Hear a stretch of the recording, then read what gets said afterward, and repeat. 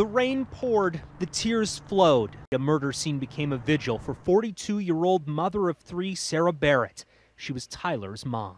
It hasn't even quite hit me yet. It's all a big blur.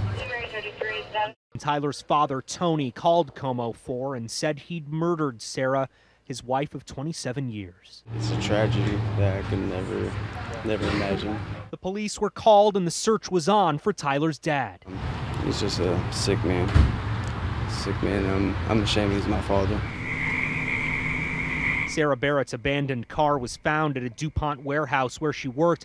She was supposed to pick up another son along the coast, but never made it. Sara's niece Candace was worried because of years of marital trouble between the couple. She wanted to give him chance after chance to hope that he would change. There were dueling no contact orders, and Tony faced domestic violence charges in 2007.